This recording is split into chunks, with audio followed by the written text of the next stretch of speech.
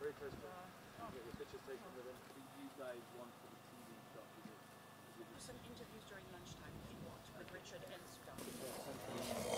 Northern Africa, which is more typical of the way rhinos exist in the wild